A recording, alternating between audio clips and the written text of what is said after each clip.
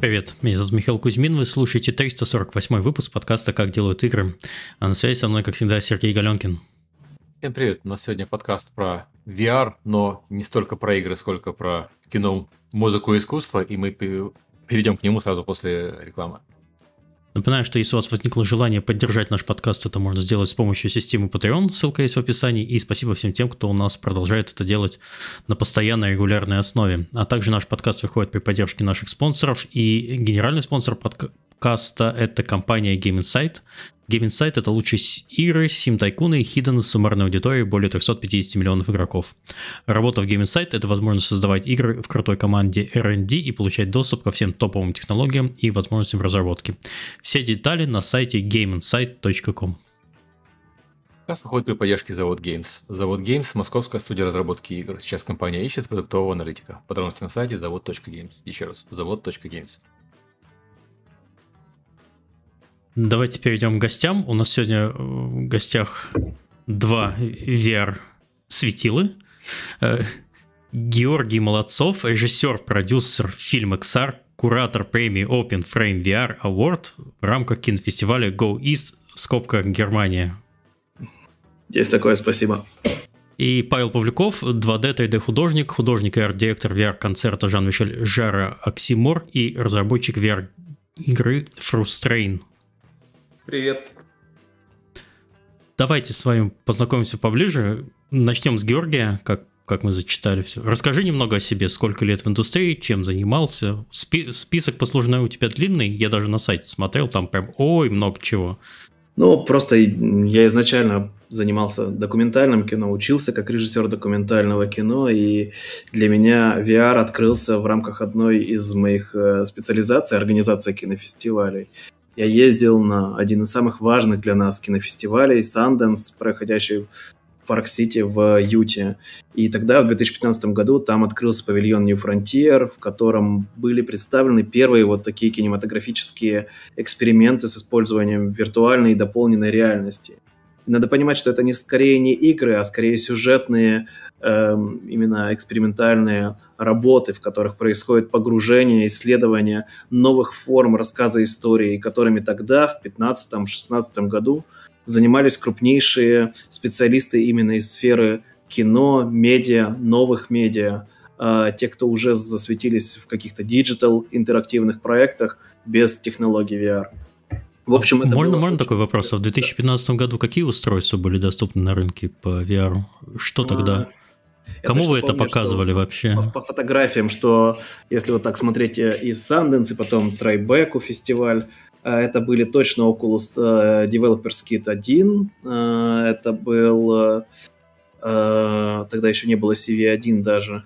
Это был точно для 360 видео Samsung S6 смартфон с вот их очками Gear VR. И были тогда еще попытки ну, использовать картборды просто для демонстрации обычного 360. Вайвы тоже уже на тот момент появились, но они начали внедряться постепенно и прежде всего с бизнес какого-то направления.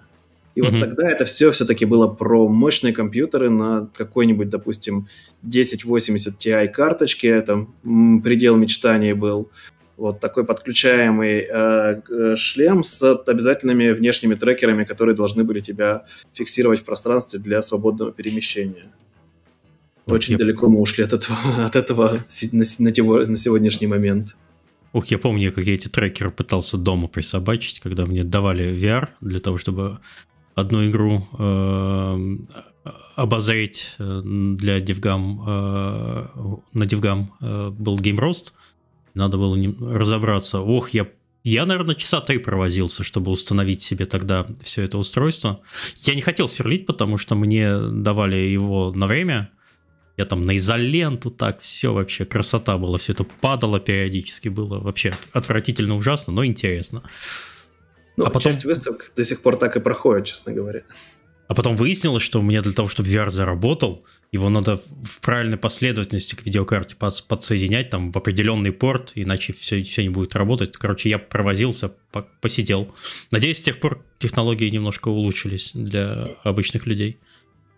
Да, и во многом в этом сыграла не только гейм-индустрия, но и, конечно, индустрия, связанная вот с культурными и развлекательными мероприятиями, с маркетингом, со всеми этими активациями, которые делались.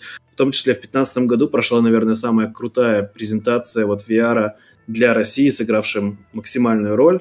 В этом активно участвовал Макс Козлов, э, сейчас руководитель Сбер VR AR лаборатории. Тогда у него была компания Interactive Lab. Они вместе с департментом и еще несколькими силой света сделали презентацию новой модели Audi, посадив 100 человек с засинхроненными вот этими Samsung Gear VR устройствами. И вот эта система синхронизации, это, по сути дела, то, на чем я потом в течение многих лет делал свои VR на фестивале, где вместо одного промо-ролика показывались более интересные документальные, анимационные, игровые фильмы вот все-таки я сегодня буду таким человеком, который будет говорить, что э, VR существует не только в среде геймдизайна, но и в среде культуры, и это э, позволяет очень быстрым путем получить какой-то авторитет и узнаваемость э, без необходимости огромных вложений в то, чтобы раскрутить свою игру. Хорошо, а в, каком, в каком состоянии ты сейчас находишься? Чем, чем занимаешься? А, да, с 2016 года я вот в 2016 году совместно там с одной из компаний провел а, первый в России VR на фестивале. Опять же, как раз использовал систему Interactive Lab для синхронного запуска контента. Мы тогда запустили 70 устройств, и люди приходили на полчаса и смотрели 5-6 короткометражных таких работ за один сеанс. Э, и после этого мы начали и сами снимать фильмы 360. Они начали ездить на фестивали, ну, действительно крупнейшие, в Канны, в Берлин. Э, Дубае и зарубежные, э, американские в смысле фестивали. И параллельно мы начали делать контент. И когда началась пандемия, я перенес некоторые фестивали, которые я проводил в реальной жизни, в виртуальные миры, в VR-чат. И первый наш фестиваль Go East, как раз про который меня озвучили в самом начале, нам удалось провести настолько весело, воссоздав виртуальный кинотеатр Каллигари, что после этого команда, которая работала над этим проектом, стала делать концерт для Жан-Мишель Жара. Мы сделали первый концерт в 2020 году. Потом на Новый год мы сделали второй концерт в Нотр-Даме виртуальном, который одновременно там, ну не одновременно, а в течение первых суток посмотрело 75 миллионов человек, включая там из них 45 миллионов в Китае. И вот сейчас мы с Павлом сделали премьеру третьего концерта уже Жан-Мишель Жара, который, по сути дела, отличался тем, что это был уже целый игровой мир, э, мультиплеерный на базе этой платформы VRChat. Поэтому, да, вот э, сейчас у меня очень много как до сих пор офлайновых событий, когда мы приходим и показываем VR в массы, так и онлайн событий, где это все-таки показ более такого эстетского контента для э, более прогрессивной аудитории, которая уже хорошо разбирается в том, что такое VR и хочет посмотреть, куда он движется дальше. Как минимум, чтобы прийти на виртуальный фестиваль, нужно иметь VR-устройство, правильно я понимаю? К сожалению, да. Либо смотреть наши стримы несчастные из виртуальной реальности, что тоже очень весело.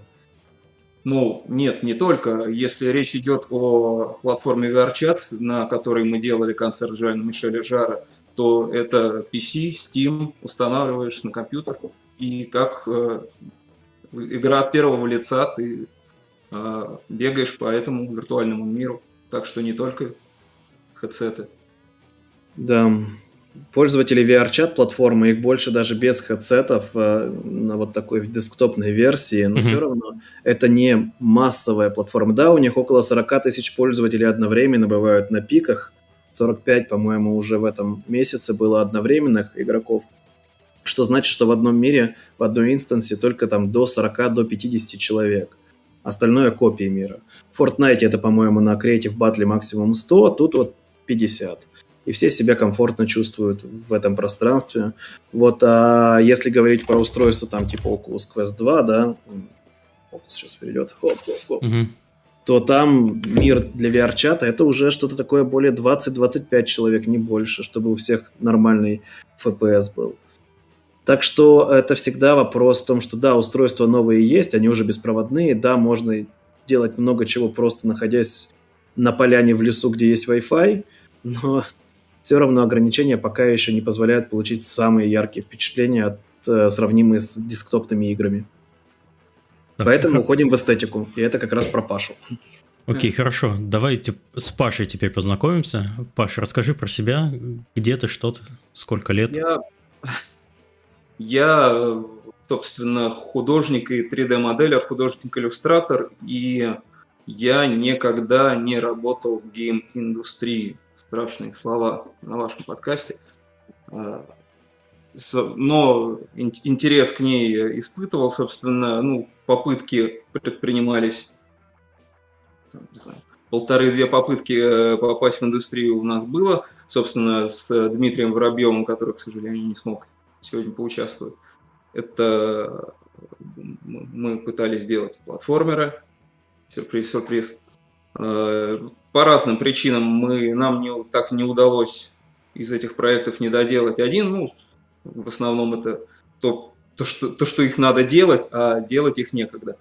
И тогда я уже спустя, там, не знаю, года два-три таких вот майни решил э, попробовать сделать э, квест, вдохновившись э, тогда появившимися э, Cube Escape называлась эта серия мобильных э, квестов от студии Rusty Lake и в дальнейшем одноименные игры серии. Э, это были такие небольшие сюрреалистические квестики, смешные, нарисованные просто, но со вкусом. И я решил, ну, черт возьми, если мы не можем с Димой как-то заниматься ну, такими большими проектами, я нарисую просто квест, point and click, и дальше Дима уже в свое свободное время, которое, как нам казалось, потребуется совсем немного для такой игры, э, соберет э, этот квест и будет у нас хоть какой-то релиз. И э, решение, не помню, с чего пришло решение делать, рисовать игру именно про поезд, но как-то быстро я... Вообще мы все любим поезда, и я придумал, вот нарисую я просто квест про поезд, который будет коротенький, смешной, там, с черным юмором и э, небольшим хронометражом, назовем это так. И, собственно, пошли недели, месяцы, тонны арта, переписывание квестов, и опять это все как, как снежный ком, стало понятно опять, что времени не хватает, Дима опять не может этим заниматься, а Дима в то время как раз плотно занялся VR-разработкой. VR-приложений, и я просто уже так немножко в отчаянии пошел в банк сказал, я сделаю VR-сцену на основе своих концепт-артов, мы посмотрим, и если нам понравится, ты будешь со мной делать VR-игру про поезд вместо запланированного point-and-click квеста. Ну и дальше так и получилось. Я смоделировал купе, из концепт-артов просто надрал этих текстурок, налепил, все получилось хорошо, красиво, атмосферно. Буквально вот одно. Ну, представляете, да, купе поезда. Какого Подожди, у тебя же получилось, что ты сказал, что давайте что-нибудь сделаем простенькое, и через полгода спустя да, уже давайте VR да, делать. Да, все вообще я... класс. Миш, э, я шел по книге Галенкина, вот прям по всем пунктам типичной ошибки новичков. Это прям был мой туду-лист. Я вот э, шел по нему. Это был не гайд. Вот, и да, в итоге мы при, пришли к этому купе, созданному для VR, и да, решили, ну раз купе так красиво получилось, значит из всего этого point-and-click квеста получится отличная VR-игра Quest.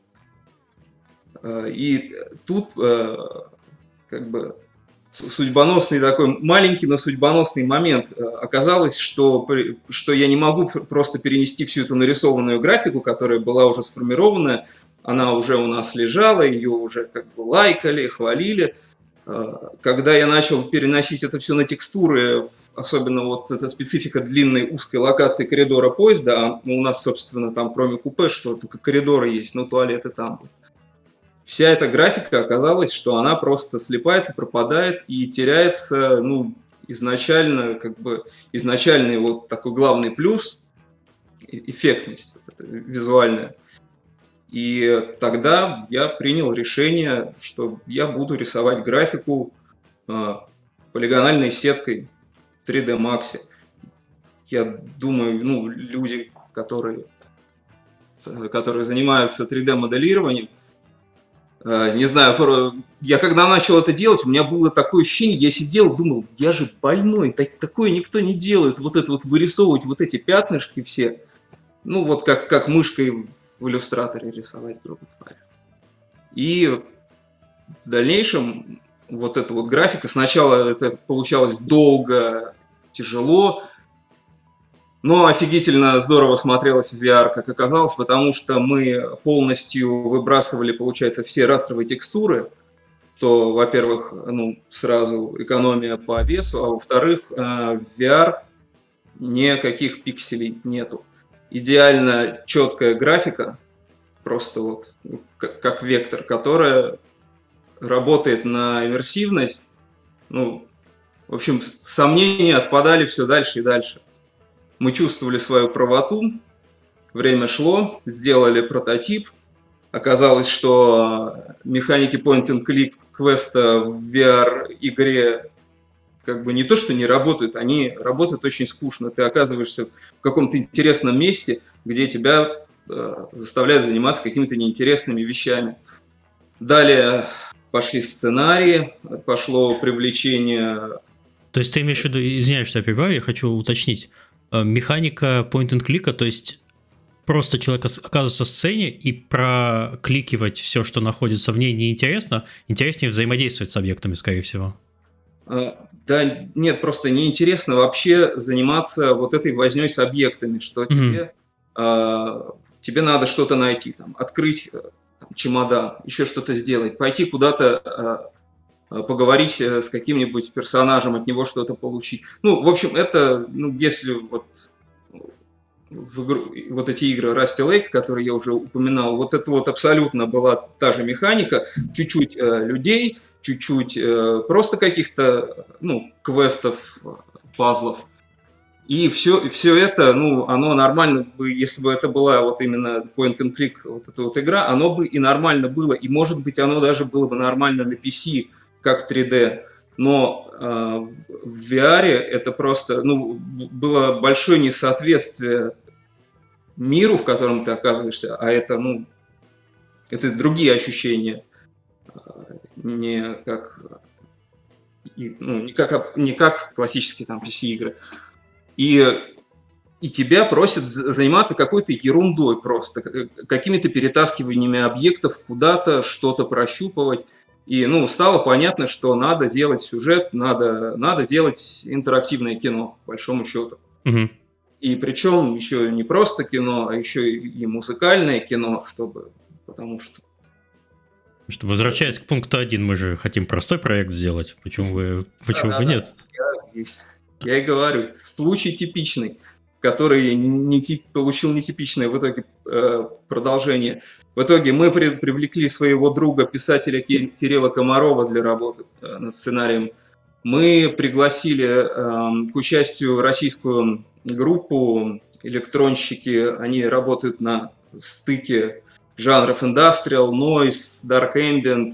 Группа Ройтов, э, пишется Реутов, э, группа с большой историей, которая существует больше 20 лет уже, наверное.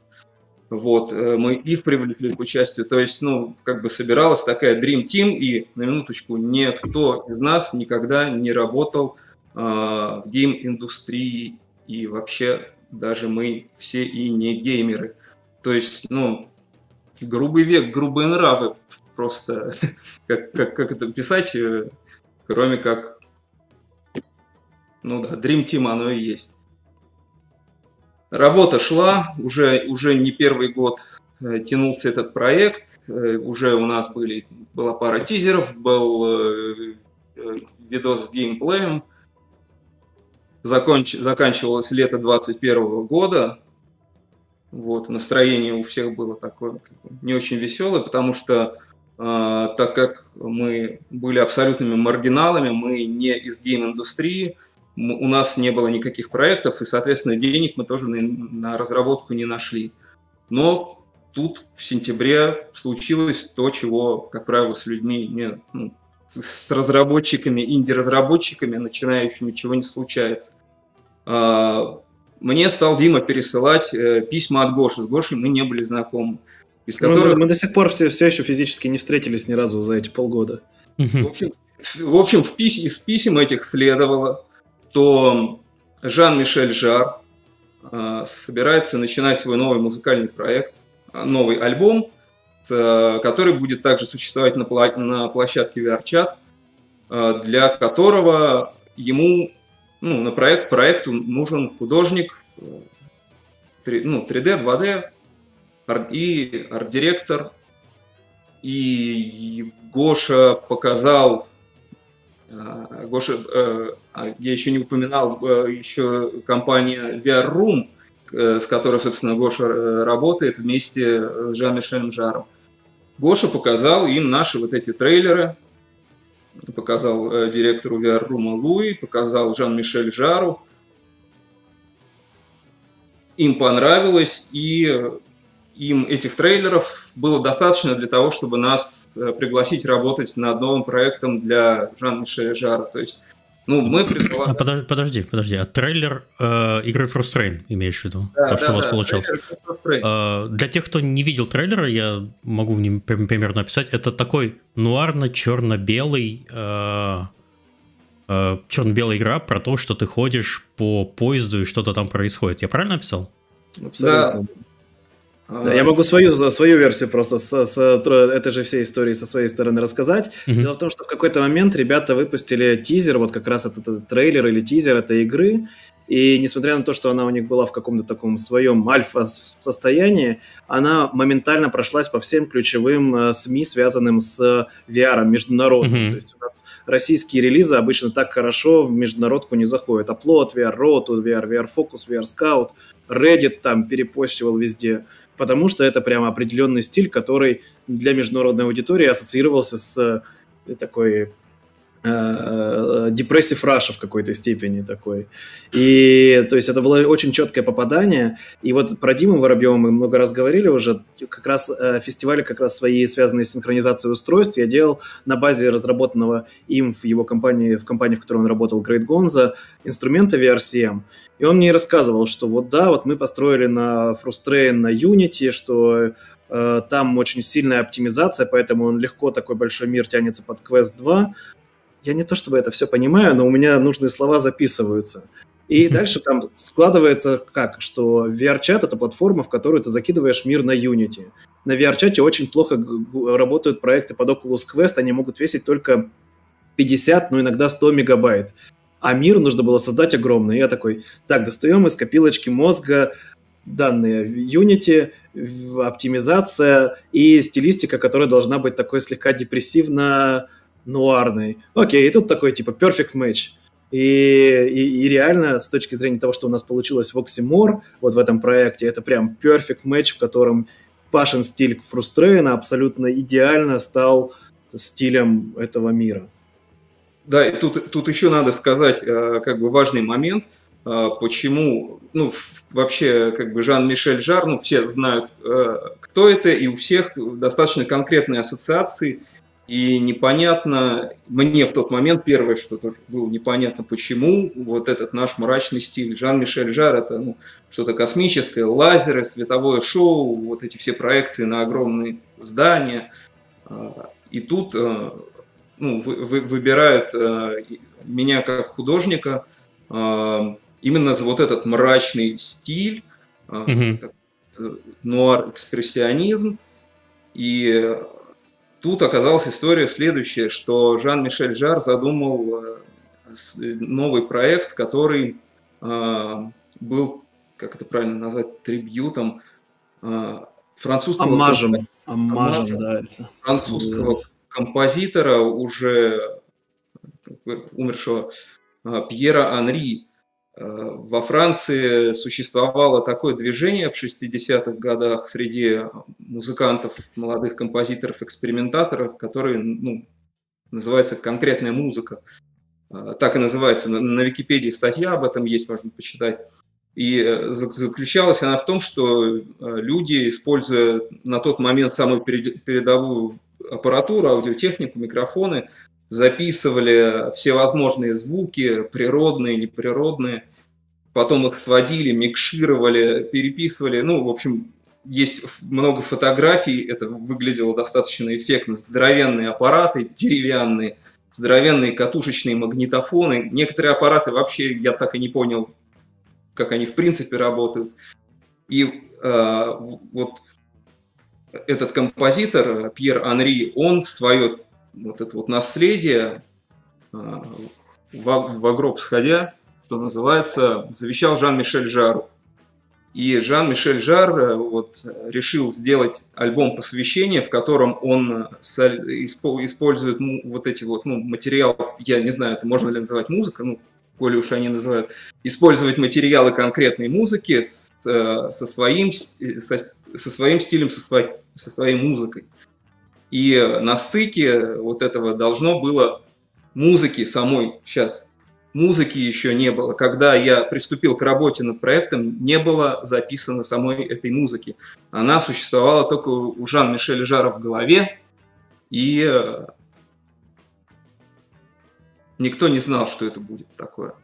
У него была идея э, мира, как должен выглядеть. Он придумал сделать, что это должен быть город, виртуальный город, э, состоящий из огромных музыкальных вот этих аппаратов, которые использовали музыканты тех времен.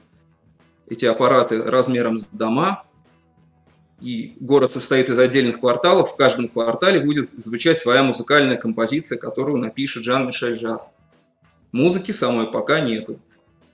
И далее мы уже на первом звонке э, по зуму он сказал, что его замысел таков. Я должен рисовать с самого начала концепт-арты, любые скетчи, что-то вплоть там, может даже и референсы, отправлять это ему. Он начинает работу над музыкой, я начинаю работу над э, городом. И далее в течение всего, до конца, в течение всего цикла разработки я должен был сначала ну, какие-то наброски, концепты, потом 3D-рендеры, э, потом, когда у нас появился первый билд, это были уже видео, которые Гоша делал э, с видеокамеры. Мы э, раз в неделю-две созванивались по Зуму, показывали все это Жан-Мишелю. Через какое-то время Жан-Мишель начал присылать нам первые версии музыки своей, потом обновленные версии, и вот так мы перекидывались друг с другом своими материалами, и это, ну, это, конечно, было очень необычно, потому что, ну, потому что э, Жан-Мишель Жар пишет музыку, основываясь на твоем арте. Это, конечно, крышесносяще получается. Да. Это, да, это... Я, я, еще, я еще напомню, что человеку как бы 72 года самому, он тоже там не, не мальчик уже далеко. Я просто да. забыл упомянуть, что я на самом деле жучащий поклонник его творчества. Э, с детства еще на кассетах слушал. Боже мой, это же вся да. жизнь прошла под, под Если его есть музыкой. кассета где-нибудь, можем подписать. У нас там с ним будет, будет скоро тайное рандеву, но мы не можем дать подробности, но слишком соблазнительно, ладно. Не, у меня, к сожалению, не осталось ничего, все в России осталось у меня. Главное, что Паша, говорит, что мы по зуму встречались, но на самом деле часто мы встречались реально в VR-чате. У нас с прошлых концертов э, Жан-Мишеля есть такой его золотистый огненный э, аватар, где из него огненные пламени огненные штучки вылетают все, и он такой искристый, и вот этот вот аватар появляется в VR-чате в черно-белом депрессивном мире, и такой да, yeah, yes, yeah, that's good, that's good, that's good, that's really great. И это такое абсолютно, знаете, как это, как э, приходит таком, я в белом пальто пришел на завод, что называется, такой человек, и говорит, да, а вот здесь вот давайте добавим немножко зеленого цвета, что-то такое, вот когда так было построена работа. И, да, к слову, раз уж сказали, я тоже скажу, что Жан-Мишель Жара я слышал с раннего детства, у меня родители его слушали, меня мама его включала, еще там 80-е годы маленький был, и на меня уже тогда произвело впечатление. По телевизору была передача, называлась НЛО «Необъявленный визит». Вот я насколько старый, я помню. И, и они использовали его музыку из... Э, господи... Забыл, из головы вылетело, да. Говорить «Оксиджен». Нет, не «Оксиджен». Сейчас найду, ща, подождите, хорошо. Так. А, ну, Давайте все-таки к теме VR вернемся. Да-да-да, я тут это- Обалденные, но... так, так, так, э, мы и вместе э, сделали этот город, э, раб- работали над городом, Жан-Мишель работал на- над музыкой. Было очень необычно по, по мере того, как город становился сложнее, детальнее и мрачнее. А мне, кстати, сразу было сказано, не бойся быть мрачным, не бойся быть реалистичным, безумным. Дел, делай, вот, дел, делай, что хочешь, а мы тебя поправим, если что не так будет.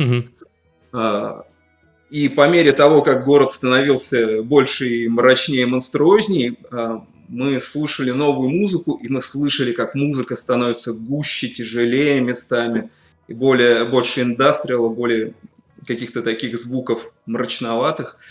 И э, так, так, собственно, все это и произошло. Про- На проект было отведено изначально меньше времени. Мне, моя часть работы должна была быть приблизительно два с половиной месяца. В итоге, наверное, около четырех месяцев она А продлилась. нет, ну как, у нас э, мы в октябре тебя подключили, у нас, э, как ни крути, 21 первый концерт.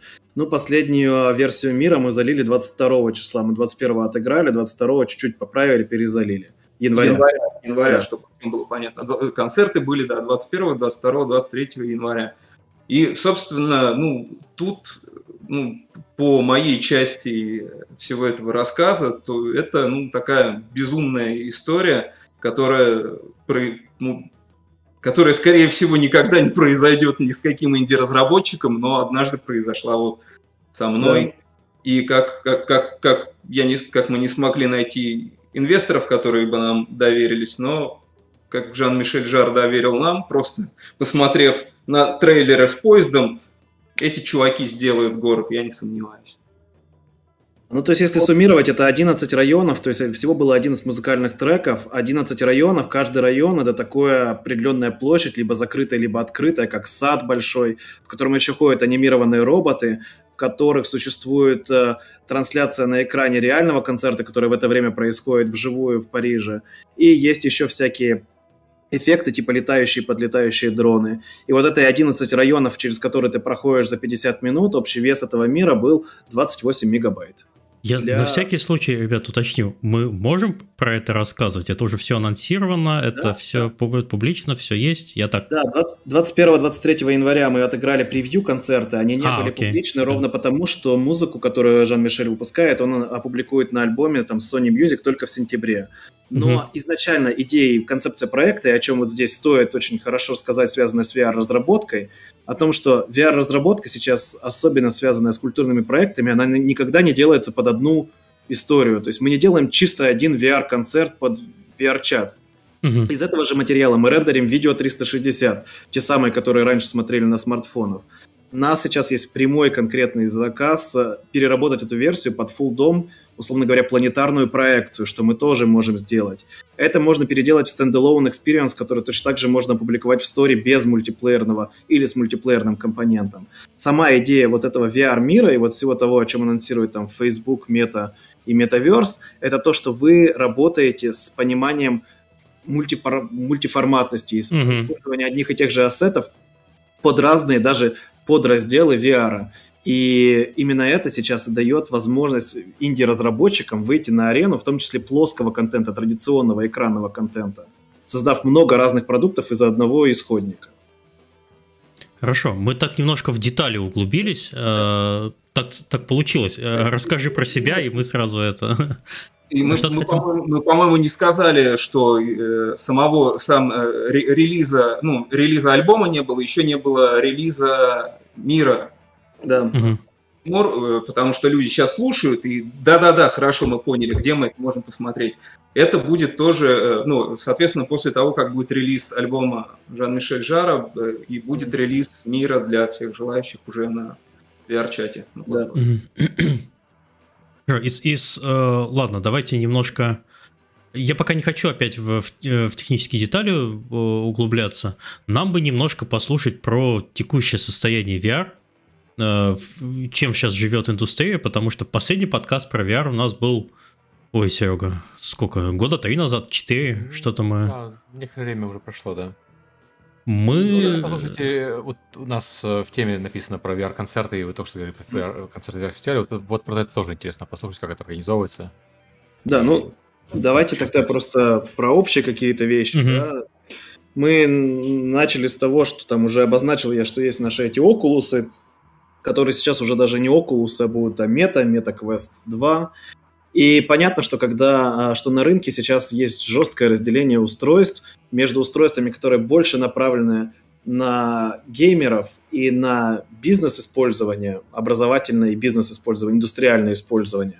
И в этот сегмент больше метят как раз HTC с их э, хедсетами, там HTC Vive Pro, HTC Vive i и Cosmos и так далее.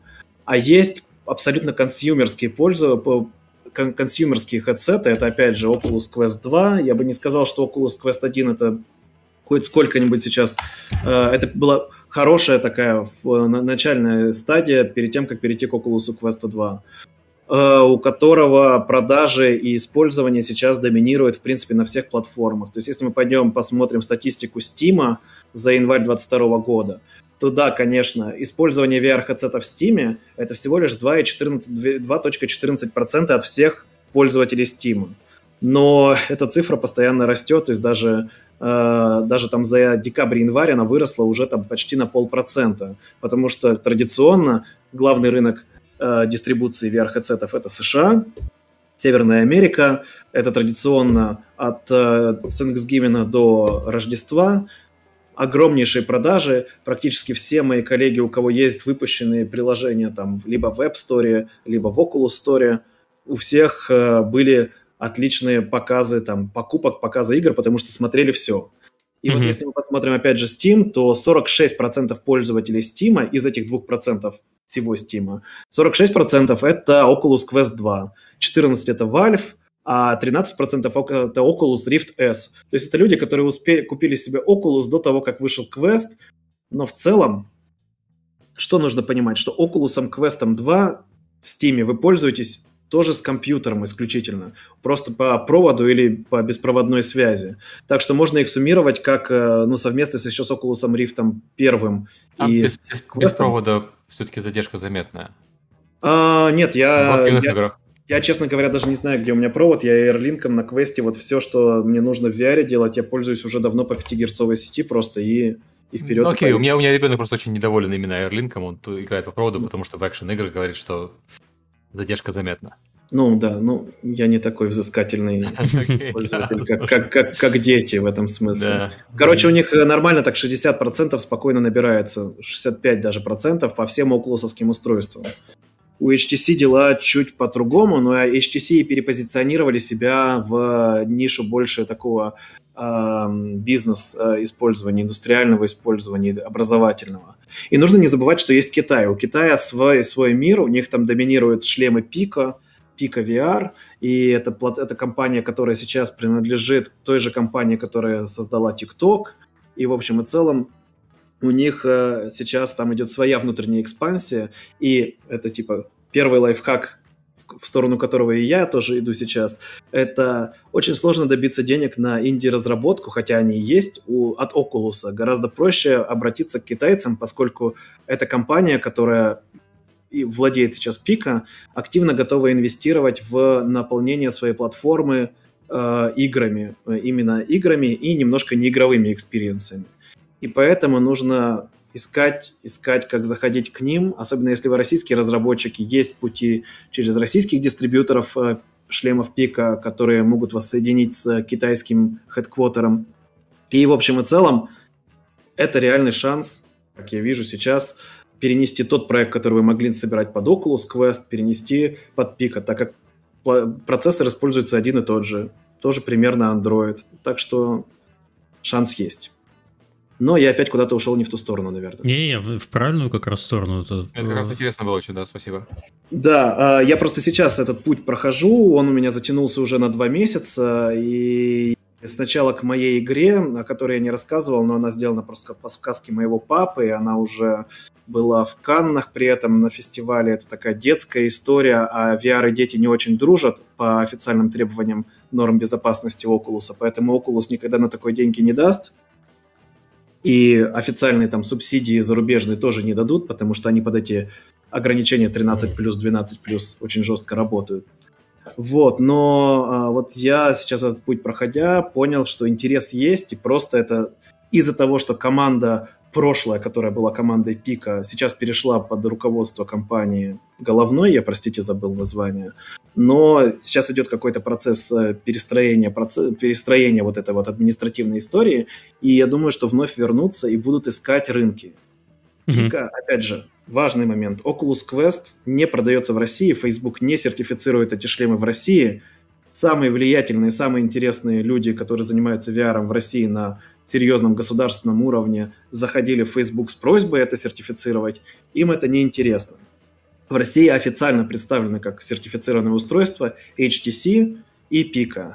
И HTC сейчас закупается в основном во все государственные тендеры, скажем так. Пика туда же идет на более низком уровне, связанном с 360 хедсетами, но у них уже появляются новые вот Quest 2 аналоги с похожей мощностью и даже сильнее, которые они бы хотели развивать. Поэтому вот говоря тут в России на русском языке и создавая игру прежде всего на русском языке, у вас есть шанс, так как все заинтересованы в том, чтобы на этой платформе их было представлено больше продуктов. А адаптировав и разработав продукт под пика, вы потом понимаете, что вы, добавив n количество, не 2, не коэффициент 2, а коэффициент 1 там, и 3, 1 и 4, вы перенесете это и на другие платформы. А можно Будущее. такой вопрос? Да. У Пика же свой стор или можно им да. пользоваться в Стиме? Да, ну вот, например, у Пика Neo 3 пока что вот в Steam 0.32 э, пользователей да, в Steam. То есть он работает точно так же, как Tethered Headset, который ты либо кабелем, либо по Wi-Fi подключаешь к Steam и вперед погнал э, весь э, PCVR mm-hmm. используй. Э, я тут не хочу просто быть э, человеком, который исключительно продвигает пика. Я очень люблю шлемы HTC, а сам пользуюсь в основном квестами. Просто, ну, блин, мне, мне нужно разработать свою игру. Я там историю своего папы пытаюсь уже 15 лет сделать, да. Если я вижу направление, я в него долблю. Вот сейчас я понимаю, что это реальная возможность, потому что переведенная на китайский язык моя пилотная версия игры в Китае прекрасно показывается. И мой котик Мармотик на русском или Китон Мармитон по-английски китайском Мормося Мау звучит гораздо лучше, чем даже на русском. И я типа понимаю, что я скорее стану известным в Китае, чем, э, чем в России с, с этой игрой. Вот. Так что э, оставляйте комментарии, я тоже там уточню у российских дистрибьюторов пика, можно ли дать контакты для того, чтобы соединить их, э, вас с ними, а, их, а, а, а они соединят с хедквотером. Но в целом этот процесс абсолютно реальный. Mm. Надо туда идти.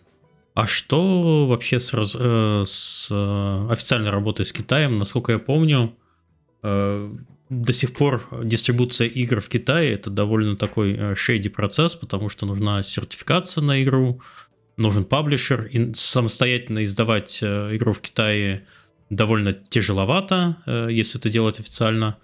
Что с вот этим процессом? Да, я здесь опять же, ну не, не то чтобы блатом пользуюсь, но вот та история Under the Pillow, Kitten Marmitten, которую я рассказывал, она попала, как я и сказал, в программу Канского фестиваля, точнее кинорынка Канского кинофестиваля, но в которой есть конкурс VR-проектов. Его финансирует китайская платформа Vir VR, которая сначала создавалась как платформа для 360 контента, сейчас у них есть, есть свои location-based entertainment парки, и они предложили после окончания фестиваля взять на дистрибуцию эту работу. То есть у меня есть соглашение с дистрибьютором местным, местным китайским, который mm-hmm. в вашем случае будет называться паблишером и дистрибьютором. Поэтому mm-hmm. в Китае я буду публиковаться в сторе через них. Но у Пика, естественно, есть свой не китайский э, Shadow Store, что называется, мировой. Mm-hmm. И, скорее всего, публикация международной версии будет через него, а китайская через местный. А, ну окей. Все Какая-то понятно. такая история. И это будет, наверное, действительно история, в которой нужно будет найти дистрибьютора, который будет забирать свой процент, но который будет представлять ваши интересы. Э, в VR таких в Китае, благо, много. Но а... больше всего, конечно, их на Тайване. А есть какие-то цифры, ну, чтобы понимать примерно объем рынка э, сейчас VR-хедсетов, сколько всего, исключая мобильные, скажем так, потому что там может быть э, совершенно дичайший зоопарк. Сколько Мгм. пока VR-хедсетов э, оценочно? Окулусов, HTC, Пика, чего-то Вот я еще? пытался перед началом подкаста открыть какие-то ам, цифры, и Мгм. я не уверен, насколько они э, релевантны, потому что это портал gamedeveloper.com.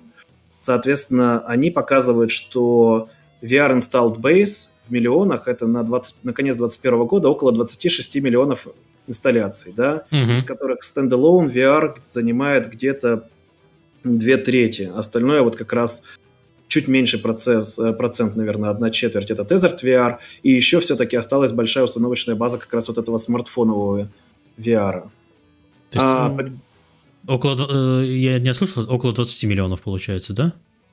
Но очень много из этих устройств приобретены для индустриального использования. А, окей. ага. Я, бы, я бы уменьшал, допустим, на 12-15 миллионов, ну, общая цифра. Давайте сделаем 12-15 миллионов э, устройств. Эм, вот, даже заголовок называется Omdia Research revealed 12,5 миллионов consumer VR headset sold in 2021. Мгм. И, и траты на приобретение контента больше 2 миллиардов. Ну, в целом я видел, э, когда смотрел некоторые проекты продажи их на VR, я видел цифры э, именно игровых проектов. Э, миллион две копии. То есть вот э, к- что-то крупнее это ты должен быть, наверное, битсейбером, а вот э, обычных проектов от э, простых смертных у тебя там есть возможность продаться на 1-2 миллиона копий. Ну, это хорошая, на самом деле, цифра, если мы Да. стоимость У нас там- разработки. В чатике в YouTube есть как раз э, э, Володя Мацель, он разработчик как раз VR-игр тоже. Э, я думаю, что он эти цифры лучше знает, может, он нам в чатик что-нибудь подскажет по этим цифрам. Тоже Мгм. у него своя инди VR-игра, которую он запускает. Тоже, наверное, будет интересно посмотреть а, его путь воина. Но реально, по-моему, на прошлый год более 60 игр превзошли э, в Окулусе продажи больше миллиона долларов. И часть из них все-таки это не, вот, не только топовый Beat Saber, который изначально, come on, это тоже инди-игра, которая просто была куплена метой, э, Фейсбуком и стала частью неотъемлемой Фейсбука. Мгм. Изначально это, блин, чешские разработчики, ну come on, которые сами писали музыку, эту ужасную музыку первых треков, которые ты играл в битсейбере. Я Но- протестую, мне оригинальная музыка Saber нравится больше, чем их лицензированные треки. Вот этот еще краб-сонг на маримбе какой-то там особенно он. Да, но, но это инди-разработчики, которых купил Oculus. И половина игр, которые вы сейчас встретитесь в Oculus, остальных, это бывшие инди-разработчики, которых э, вовремя перекупили. Вот. Так что, да, Oculus основная платформа в Северной, в Северной Америке и в Европе. Да, есть азиатский рынок, который существует по каким-то своим странным параметрам с большим акцентом на location-based entertainment, который полностью умер и переродился, поскольку это все-таки азиатский рынок, там вот перерождение, оно происходит постоянно, и мы его видим на рынке, возвращение компаний, которые писали, что они вышли из строя, они возвращаются со своими предложениями. Вот, что там совершенно этот дикий зоопарк устройств, с которым невозможно, ну, какую-то стратегию простроить, но он есть. Мгм. Вот. Эм, Не знаю, что пока еще сказать про цифры. А, Павел, у тебя есть что-нибудь добавить по рынку, по своим ощущениям, по устройствам? Секунду, да. А, Дело в том, что я тут не, не, не участник беседы, скажем так. У нас по, по части Георгии я, я Да. художник. У нас, у нас Дима больше по части того, что мог, кто мог бы рассказать про, Мгм. про как раз по, про игры.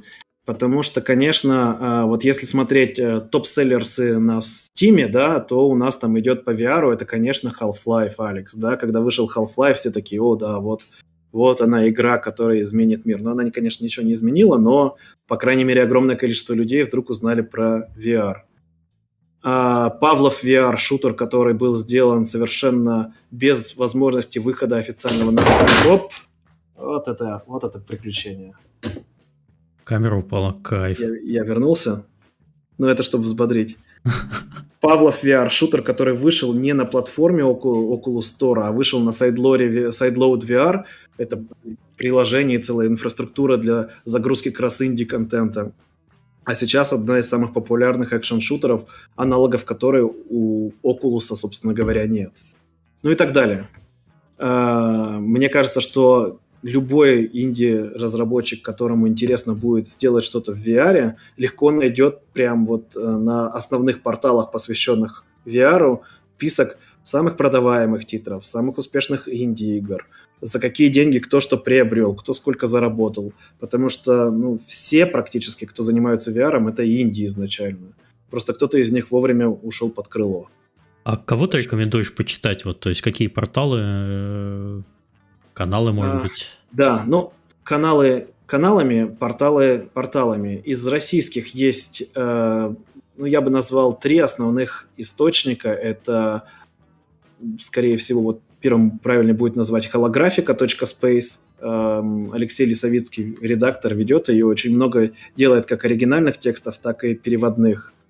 Э, затем э, Андрей Вашенцев, мне кажется, он у вас был в подкастах э, уже несколько раз. И он, скажем так, мало того, что он организует конференцию Миксар, так у него еще есть вот новостной портал Миксар, Э, который постоянно тоже публикует свежие переводные и оригинальные материалы. Есть еще vr-j.ru. Вот это вот как бы для меня три основных источника, где можно на русском регулярно получать обновления. Но многие из этих текстов это переводные ключевых зарубежных порталов.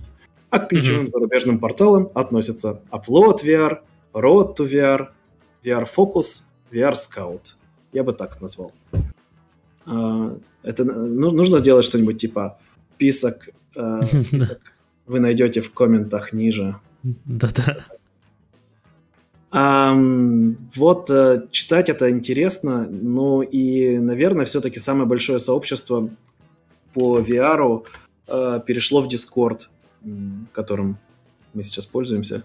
А, прям огромное количество разработчиков э, уходит вот в эти Discord э, каналы с, ну вот конкретных посоветовать не могу, их нужно искать, они все в таинственном uh-huh. пространстве находятся. Все, все это читать невозможно в том объеме, поэтому я просто советую сделать себе Google Alerts на какие-то ключевые слова, типа Indie Game, VR вместе, и вам раз там в три дня будет приходить хоть какая-то актуальная подборка, что гораздо проще, чем просто целыми днями следить за порталами. Это, mm-hmm. это был лучший совет, который мне дали на VR на фестивале как раз Санденсе в 2015 году. Меня предупредили, что типа, ну вот типа, если тебе эта тема интересна, ты займись, но не пытайся читать все, просто настрой себе Google Alerts на определенные ключевые слова, которые тебе исключительно интересны. В моем случае Virtual Reality Storytelling потому что иначе ты потонешь в информации, тебя это задавит, и ты поймешь, что ты как бы ничего не можешь сделать и ничего не можешь понять. Все-таки это приходится сужать.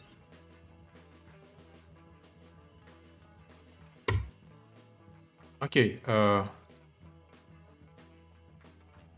мы поговорили про uh, VR-фестивали. Uh, мы не говорили про VR-кино. Uh, кино толком, как я понимаю. Ух, да. Снова я возьму слово за свою, встану на свою табуретку.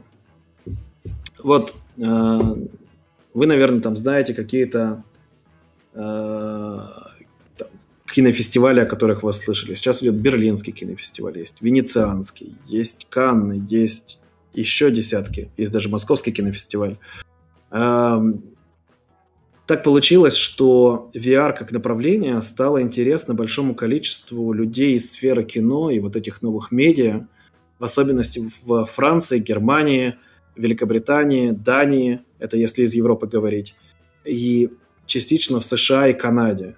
И вот этот вот список стран, которые я назвал, они по сути являются лидерами иммерсивного искусства, которое создается на грани между инди VR-игрой и что-то вроде такого сюжетного киноанимационного произведения.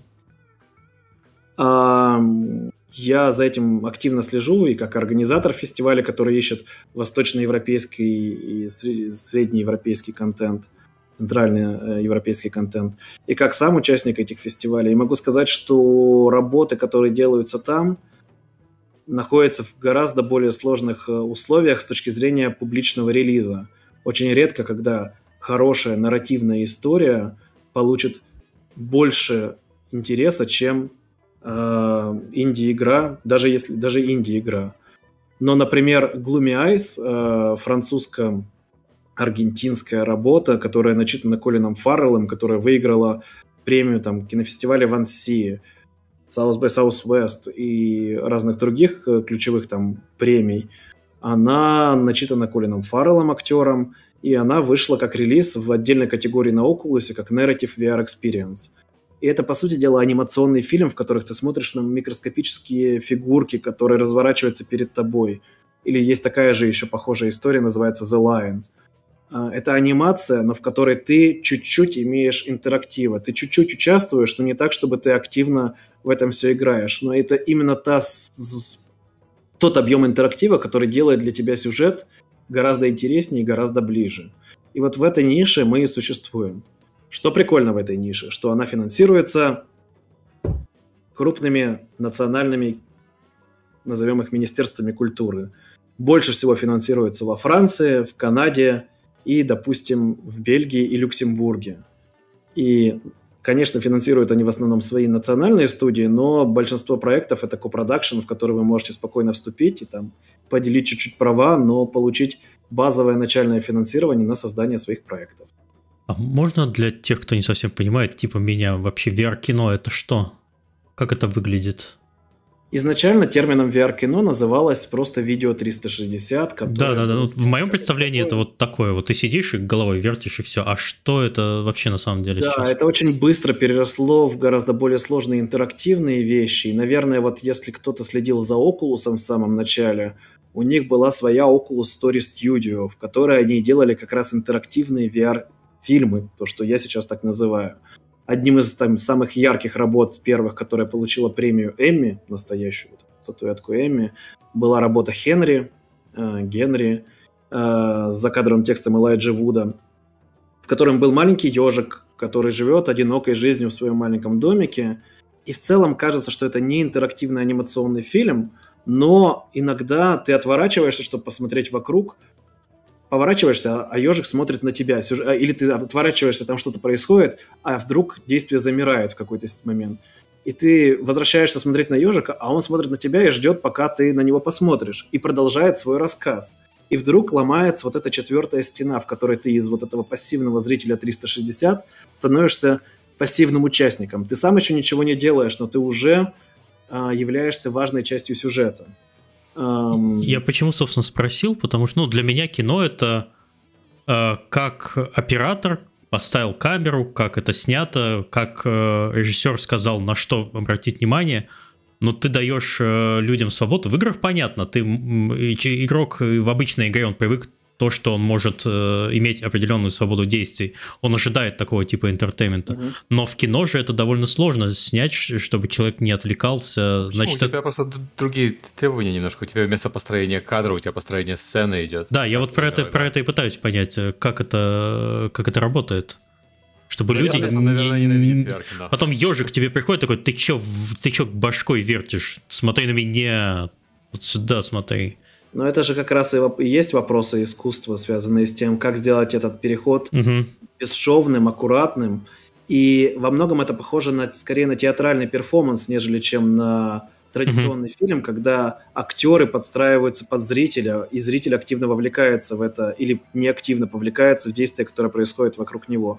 Вот VR-кино — это, скажем так, анимационный или постановочный э, театральный перформанс, но в вселенной, которая не ограниченными правилами традиционного кино. Но почему это называется кино? Потому что оно полностью соответствует традиционным законам драматургии с гораздо меньшей вариативностью сюжетного развития, чем в играх. Игра все-таки тебе позволяет абсолютно свободно э, часто э, рассматривать мир и отходить от сюжета. VR-кино, такой, если жестко его э, обозначить, то он держит тебя в рамках сюжета. И предоставляемая свобода, свобода исследования, свобода просмотра все равно тебя так или иначе вернет в те сюжетные рамки, которые обозначены были автором проекта, то есть режиссером. И тот диктат экрана, когда ты приходишь в кинотеатр и получаешь тотальную диктатуру режиссера, который говорит, вот смотри на экран и только на экран. Она тут чуть-чуть дает иллюзию свободы. И для нас, как людей из кино, это и есть интерес как сделать так, чтобы люди думали, что это они выбирают. Но на самом деле они все равно находятся в еще гораздо более зажатых условиях, чем даже в традиционном кино. Игра вот. еще обычно ждет игрока в большинстве случаев, когда игрок mm-hmm. ничего не делает, игра э, находится в idle состоянии. Кино не ждет. И мне твое сравнение с театром понравилось, потому что я был на экспериментальной постановке, где зрители сидят внутри, как бы сцены, а театр, события, актеры находятся снаружи. И впечатление совершенно потрясающее, когда события разворачиваются вокруг тебя. Ну и вот, э, ну и сейчас, соответственно, большая часть игр, э, точнее VR проектов, это уже смесь э, абсолютная с играми. Даже, даже там один из самых крупных российских проектов, который был сделан в VR, эффект Кеслера, у них была даже своя там площадка на Марсе и еще в, в других местах. Это сделал Антон Уткин, там играли в motion capture Юрий Колокольников, Ирина Старшенбаум и еще актеры. И это как раз VR-кино, интерактивное VR-кино, в котором у тебя гораздо больше свободы, и у тебя есть даже позитивная, негативная концовка, но в целом ты находишься в рамках одного сторителлинг-сюжета, который, ну, даже тебе то, что несмотря на то, что тебе активно нужно что-то делать, что-то с кем-то бороться частично, ты все равно находишься в предлагаемых обстоятельствах. Наверное, что интересно, сейчас ключевые фестивали все больше и больше расширяют вот эти кинофестивали, Рейнденс, там, Венеция в какой-то степени. А, они уже поняли, что одними кинематографистами программу не наполнишь, поэтому все больше и больше игр, которые тоже все больше и больше себя включают сторителлинга и нарратива, они начинают подключать игры. Я вот был в жюри Рейнденса в этом году и в прошлом году. И в итоге приз, который мы дали за лучший дебют, это была абсолютная игра, но с потрясающим сюжетом.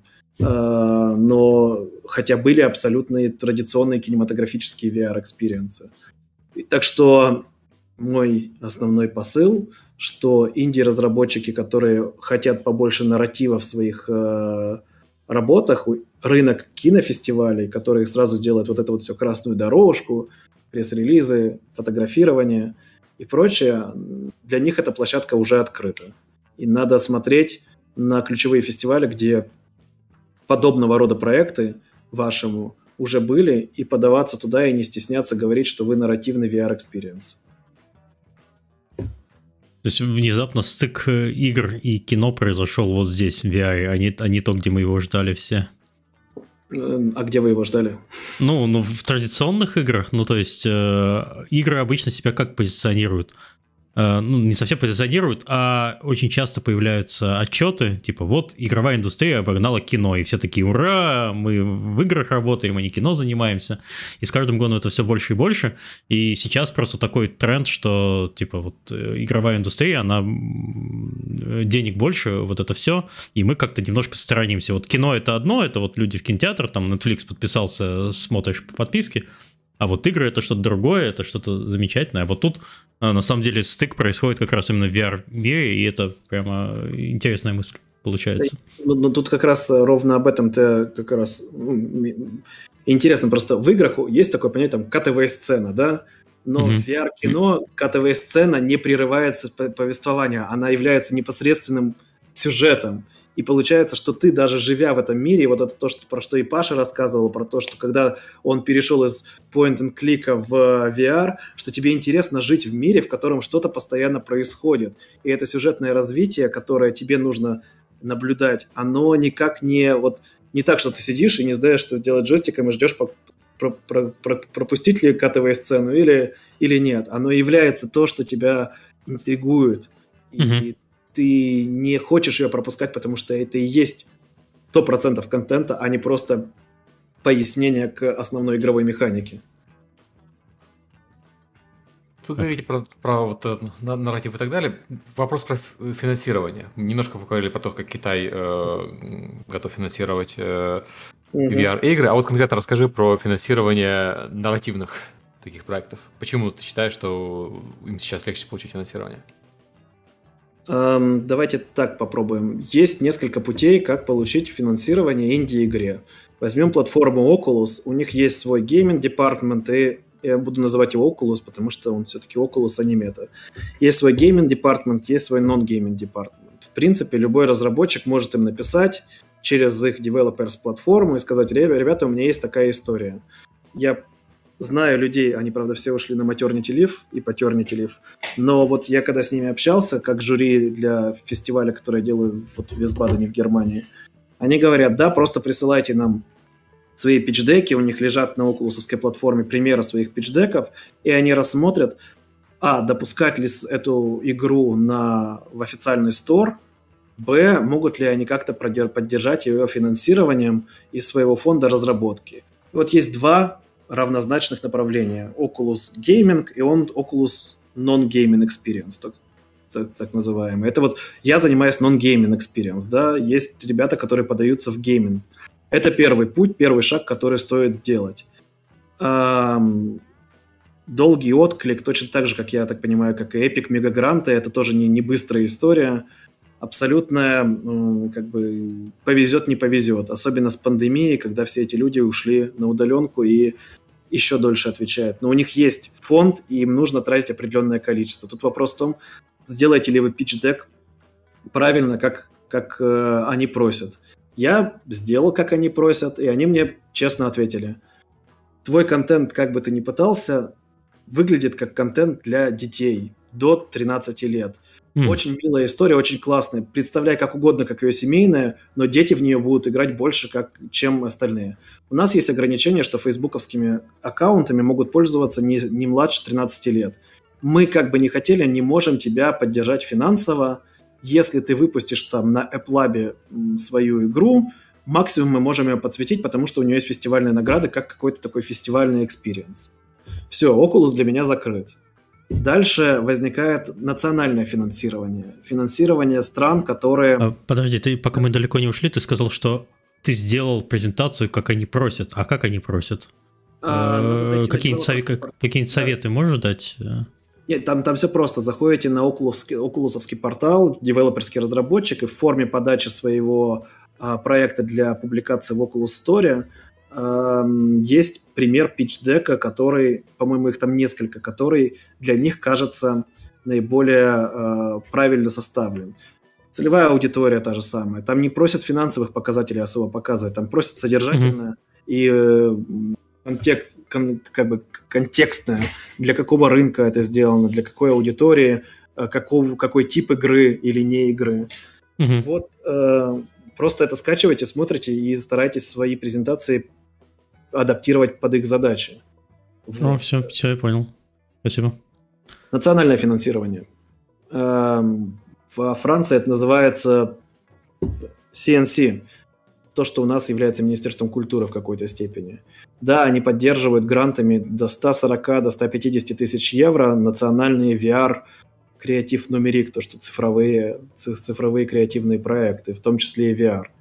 Получают эти проекты в основном французские студии, но, как я и сказал, эти французские студии чаще всего являются такими копродакшн партнерами зарубежных студий, которые совместно делают произведения, где французская студия является ну, реально партнером, имеющим репутацию, но и тем, кто получает национальное финансирование. Например, самый э, известный за прошлый год проект, который ну, в нашей VR-киносреде Голиаф, э, он получил гран-при жюри в э, Венеции и еще, еще несколько призов, и его вы можете скачать на Vocal Story в WebLab. Голиаф Playing with Reality. Это абсолютно ну, как бы шизофреническая история, рассказывающая документальное интервью человека с шизофренией, но при этом он геймер. И для него игры — это способ хоть как-то общаться с миром, у него там своя там ментальная инвалидность, но в играх у него там есть друзья, и он говорит, что вот тот там период наркозависимости, период другой зависимости, которая у него была, период содержания в ментальных учреждениях, он из него вышел только с помощью игр. И, по сути дела, это игра Голиаф, это не игра, это, это experience, закадровый голос, который написан, записан Тильдой Свинстон, а, Свинтон, это за 40 минут вы проходите там от 8-битной графики до вот современных 3D-шутеров, которые развиваются и продолжают рассказывать его историю. И у вас возникают мини-задачки, типа пострелять в летящие вас э, штучки какие-нибудь, мини-арканоиды, но только в VR. Но это все этапы изменения пристрастий этого главного героя.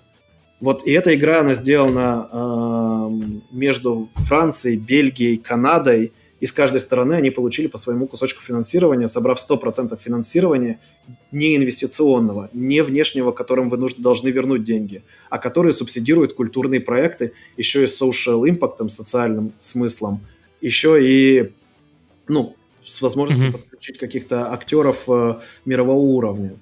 У меня Наверное... вопрос еще такой сразу по ходу действия. Ты говоришь про финансирование, а условия получения этого финансирования какое-то есть? Надо возвращать деньги и да. не надо возвращать деньги. А есть ли какие-то ограничения на использование этого контента, э, территориальные, э, моральные? Что да, еще? Вот, вот то, что мне, человеку из кино, очень хорошо понятно, а и мне очень непонятно, как это работает в гейм-индустрии, потому что mm-hmm. я вот все пытаюсь это как-то осознать. А, в кино и в данном случае мы говорим, что VR-кино пошло по пути традиционных схем финансирования кино. Есть две схемы – возвратное и невозвратное финансирование. Mm-hmm. Чаще всего это называется субсидирование, и чаще всего про VR мы говорим как про субсидирование. То есть это невозвратные деньги, которые выдаются культурному проекту, имеющему культурную ценность, и которые соответствуют условиям той страны, которая это выдает. Во Франции, что 50% прав на проект и 50% команды является французской, что деньги там расходуются частично во Франции, и только определенные статьи расходуются за рубежом. А, и вот, ну, я бы сказал, это основные параметры. Это принимает решения экспертные советы. Mm. И, и, соответственно, никто не мешает в рамках имеющихся копродакшн договоренностей между странами, которые тоже были сделаны для киноиндустрии получать совместное финансирование Франция, Канада, Бельгия, три франкоговорящие страны, да, а, могут спокойно объединить свои национальные бюджеты, каждый из которых получит по своей доле прав дистрибуции в своей стране. Но что с этим дальше делать? Ну, как бы это культурные проекты, они изначально не созданы под, под, под то, что они будут супер окупаемы, они про то, чтобы развивать границы искусства и границы mm-hmm. жанра нового. И уж доколе, поскольку вот эти культурные институции под свое крыло взяли VR, сказав, что это культурная штука, то как бы, но они несут ответственность, что это не окупается. Ну, и не должно, по крайней мере. Потому что мы развиваем жанр, а пока что, а не создаем коммерчески успешный продукт. Что тоже бы хотелось, но это работает по другим законам.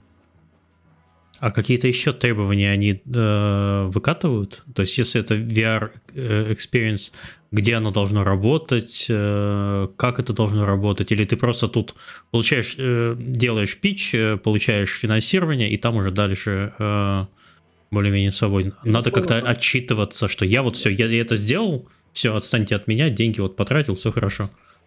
Ну, безусловно, никто не мешает э, вам Стратегия дистрибуции везде просится как документ, который подтверждает, что вы не просто создаете проект, который нигде не будет показан.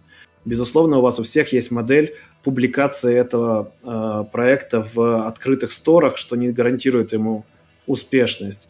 Mm-hmm. Но чаще всего, говорю, мы под крылом культурных институций, поэтому мы идем на кинофестивали. Кинофестивали это всегда те или иные э, пиар-возможности, которые позволяют этому проекту получить местную локальную дистрибуцию в той стране, которая организует этот фестиваль э, через location-based entertainment, да, то есть очень многие, как вот в Китае, например, э, многие площадки, многие location-based штуки, которые сделаны исключительно под развлекательные игры, хотят иметь хоть какую-то культурную штуку, потому что у них приходит разная аудитория. У них приходит семья из четырех человек, папа, мама, дочка, сын. Папа, сын с удовольствием пойдут постреляют зомби-роботов. Мама, дочка очень имеют ограниченный выбор контента, хотя они все пришли в четвером. Mm-hmm. Игр на четверых нейтрального характера очень мало, а вот э, отправить, условно говоря, папу, маму, дочку посмотреть какое-то интересное, культурное, вот э, типа то, что я сказал, Gloomy Eyes или The Lion, или там еще много таких приятных, около мультипликационных, добрых проектов, спокойных. Это хороший нишевая, нишевый продукт, существующий в рамках нишевого продукта VR. Все, у тебя есть какие-то вопросы по этому процессу? Нет, ты знаешь, по культурному, по культурному процессу нет, потому что я в играх с ним сталкивал. И вот и Серега исчез. Да, Паш, а расскажи, может быть, быстренько, вы куда-то подавались же с э, Фрустрейном на финансирование? Может, ты свой путь как-то пере, а... быстренько скажешь? Да, у нас, во-первых, этим больше Дима занимался. Во-вторых, ну, мы прошли опруф на Oculus Store, что, в общем-то, тоже такая заслуга большая, э, что ну, пройти его очень сложно, отсеивается большое количество людей, и либо же они проходят э, через, не знаю, какое-то количество вот этих пич-деков, которые они э, все переделывают и переделывают и переделывают в соответствии с требованиями Oculus. И мы прошли со второго раза. Пич-дек делал Дима, и он уже на как пичат игры.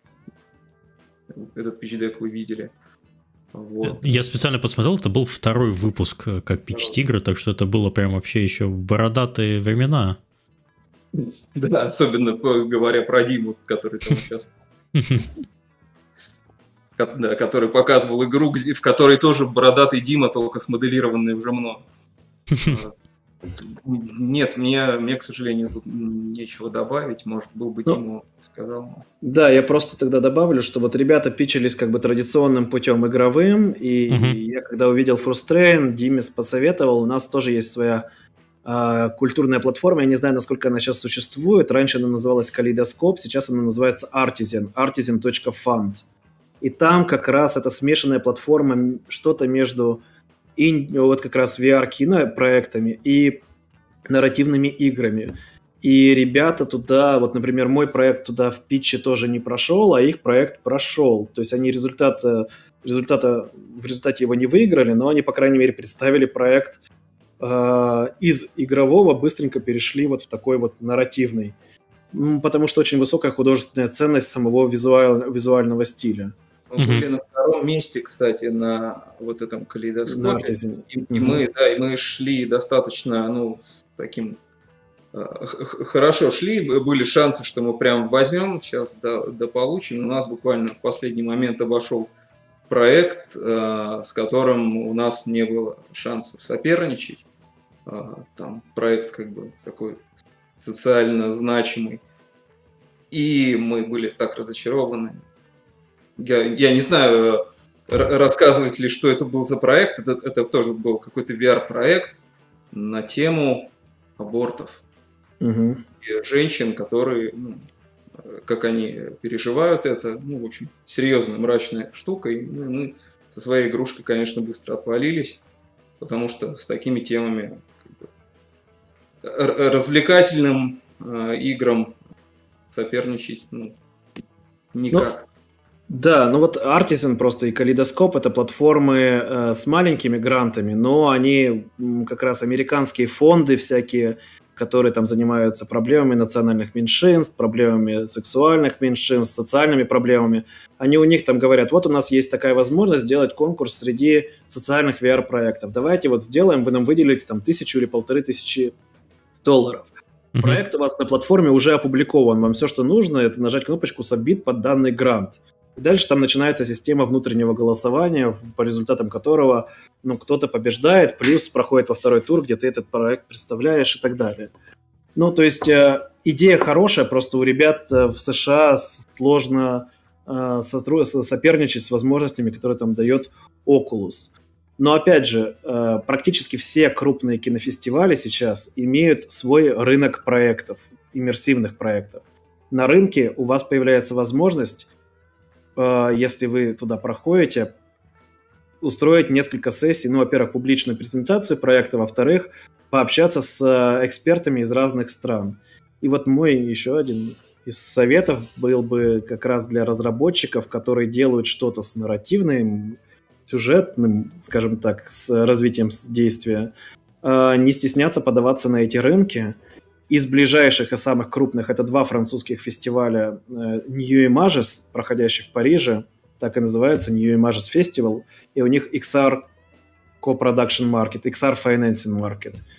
И, пожалуй, если у вас что-то такое связанное с анимацией связано с, э, не обязательно вот с милой кьют анимацией в стиле Pixar, но, в принципе, с, вот, например, Пашин там стиль э, нуаровский, это тоже анимация, взрослая анимация так называемая, то это фестиваль Annecy, это анимационные канны, у них есть свой мифа питчинг, куда вы можете пойти в направление digital experiences. Пожалуйста, и эксперты, уровень которых есть там, это эксперты самые высокие из мира кино и анимации, и в том числе от ключевых мировых анимационных студий, каждый из которых сидит и каждые полгода такие, надо запускать свое VR-направление. Уже можно? Нет, количество устройств еще не достигло. Эх, ладно, до следующего квартала. Так что нужно не стесняться искать э, финансирование там, где, казалось бы, оно ну, не, не должно быть для вас. И вот фестивальные именно кинорынки – это хороший путь. Окей. Мы прошли по всем темам, которые у нас были описаны в документе. Давайте, может, перейдем к вопросам, что там есть достаточно mm-hmm. интересные темы. Да, давайте я, как обычно, зачитаю. Dan Orange Black and White спрашивает, происходит ли в VR новый бум инвестиций? Когда смотрел вакансии, часто видел именно VR-студии. Ощущается? Вот какие ощущения у вас есть? Что там? А, я быстренько скажу. А, в 2020 году вышел «Мандалорец», который использовал Virtual Production Studio на, на Unreal с фанами, делающимися на игровых движках. И теперь Virtual Production Studio — это как бы золотой грааль кинопроизводства и медиаиндустрии, который абсолютно полностью использует наработки, созданные в виртуальной реальности. Ну, типа, Мандалорец не на пустом месте появился, он появился mm-hmm. на разработках, которые Лукас э, X-Lab, ALM X-Lab делали еще на Lion King и на Jungle Book, когда они делали привизы и с помощью игровых движков.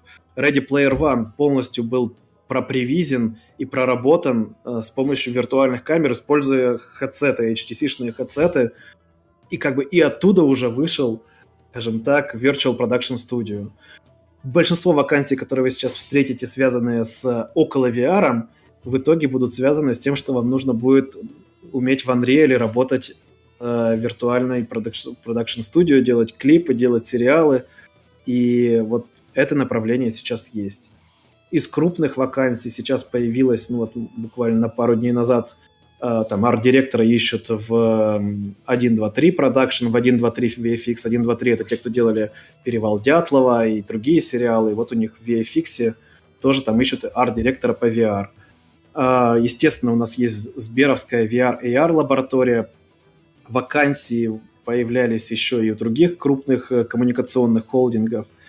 Очень многим хочется это пощупать. И действительно правильный вопрос. Есть такой бум, вот как я сказал, а что, уже можно попробовать? Ну, вот, вот есть компании, которые говорят, м-м, рановато, а есть такие, ну давайте, давайте, а то помо-эффект как-то уже подсасывает.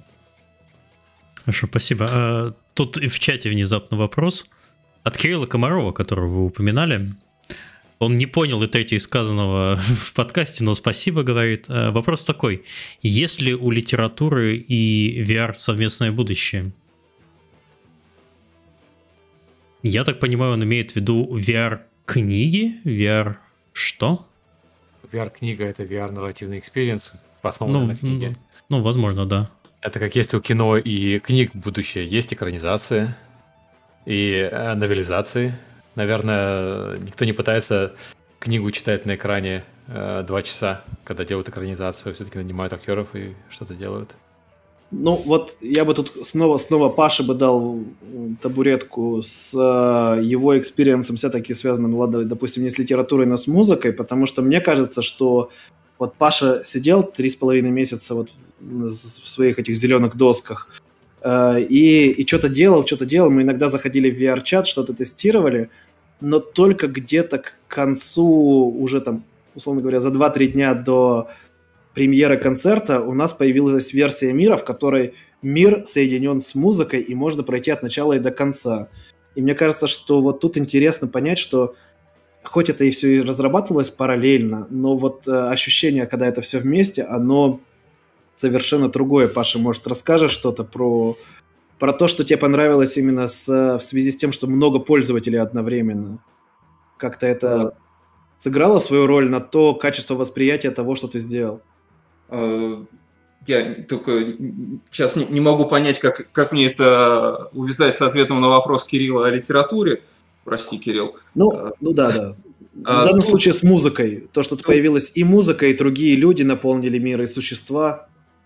А, тут, значит, было как? Сначала как, э, это абсолютно разные эффекты. Когда я первый раз ну, э, открыл build с этим миром, это один, ну, одно впечатление. Потом, когда мы вместе с Димой вдвоем зашли уже в этот мир, это уже вдвоем, ты с человеком, это уже другие впечатления. Потом мы были вчетвером и так далее. Когда на концерте Жан-Мишель Жара, на последнем концерте было 40 человек одновременно, там просело ФПС, просто ужас.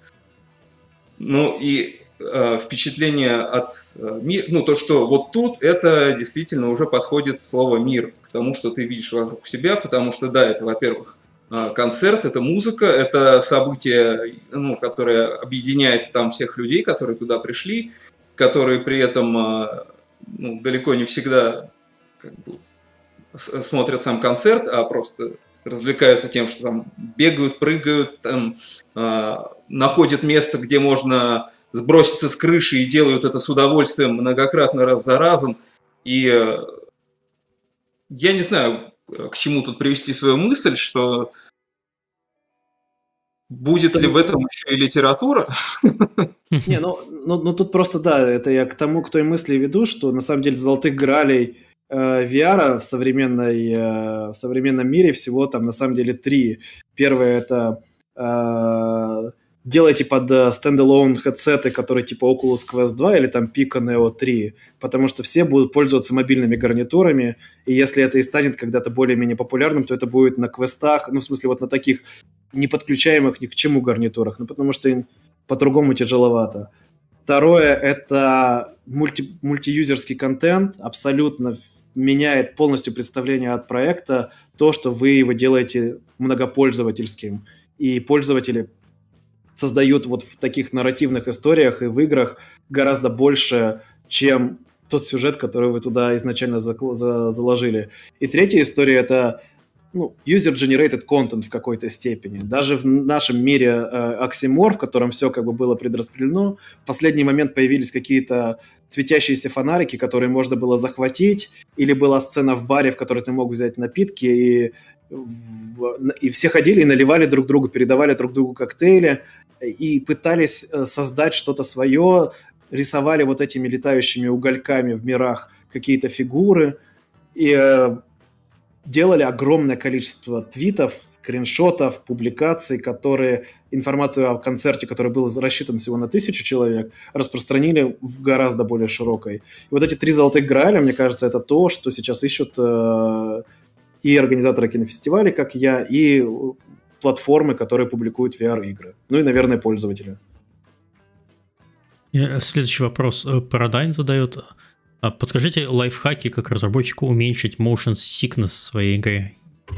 Чем-то вы э, пользуетесь каким-нибудь своим ноу-хау? Или все решения довольно одинаковые? Паша, Паша, тебя тошнило в итоге где-нибудь в Оксиморе? Укачивало? Ты же Нет, меня укачивало только когда на, ну, на ранних этапах у нас была гравитация такова, что прыгая ты подлетал метров на 6 в высоту, и вот это да, лучше было этого не делать, а в остальном нет. Это, это все очень ну, субъективно, в зависимости от ну, восприятия человека у всех. Да. Это как, как организм твой от, отреагирует на это, во-первых. Во-вторых, если это тоже важно, там, в первый ты раз или это в пятый ты уже ко всему этому привык, вот эта вот адаптация. Мы, да. Не было проблем. Я от своего опыта, связанного с видео 360, могу сказать, мы там с этим много экспериментировали, связанным с тем, чтобы тележечка проезжала, чтобы дрон пролетал. Там motion sickness, это еще низкое разрешение, и вот это вот все покачивание, стабилизация плохая. Там решение которое я перенес в интерактивные проекты, называется объект переднего плана. То есть, если у тебя, как только у тебя появляется любой объект переднего плана, платформа под тобой, клетка вокруг тебя или что-то, на что ты можешь сконцентрировать свое внимание, даже если это там частичный элемент меню, на который довольно крупный, как самостоятельный объект существует, у тебя моментально пропадает motion sickness, э, так как ты концентрируешься на одном неподвижном объекте, который движется с тобой в одной плоскости и в одной траектории. Mm. Ничего такого более простого и более логичного не придумано. Если ты куда-то движешься без своего желания, то тебя должно двигать. Твой мозг сразу такой, все в порядке, так и должно быть. Спасибо. Uh, он же задает еще один вопрос. Какие VR-опции скоро станут мейнстримом? Я про такие вещи, как отслеживание глаз, трекинг всего тела, перчатки с ограничением движения, всенаправленная беговая дорожка, датчики боли и так далее. Отслеживание глаз и full body capture это уже как бы работающие модели которые просто не пошли, пока не, не, ну, не, не пошли. выходит в этом, Камбрия выходит в этом году, это же новый э, метовский э, хедсет, и у них есть и отслеживание глаз, и отслеживание эмоций. То есть они могут переносить эмоции в твоего виртуального аватара. Да, вот то, на да. что мы жаловались, когда обсуждали э, их VR-пространство, что там все безэмоциональные, они собираются это решить с помощью этого хедсета. Без ног. Ноги, вот. окей, это такое дело. Да, VR-чат огромное количество пользователей в VR-чате имеют э, шести, шеститрекеровские full body костюмы само, самодельные, которые делают на, локти, на локти, на ноги и на пояс. И танцуют, делают целое представление full body в VR-чате. Даже у нас, Паша, там в Оксимор было огромное количество людей, которые пришли в full body и вытворяли штуки, которые остальные не могли сделать на хедсетах. Это, безусловно, то, что будет упрощаться и будет доступно. А второе по популярности это, да, это отслеживание глаз и передача вот этих информации о глазах в мир. Там свои наработки были уже у HTC, у, явно у Apple это будет как бы базовый функционал, когда они что-нибудь уже выпустят. И да, и вот то, что вы говорите, мета. А, Владимир Терехов спрашивает, портативные шлемы сейчас более приоритетны как целевая платформа, чем ПК, ПК VR? Ну, в общем и целом, весь, весь свой, да, весь свой спич я посвятил тому, что да. Процессоры будут улучшаться, а ту свободу там, там, там, там две грани есть. Одна грань называется «классно, что у тебя беспроводной шлем», а вторая грань называется «но он разряжается». И дальше возникает история про баланс. Вот там базовый headset, как его продает Oculus, он сделан с таким ремешком – баланс тут не до конца соблюдается. Эта часть все-таки на тебя начинает давить в какой-то момент.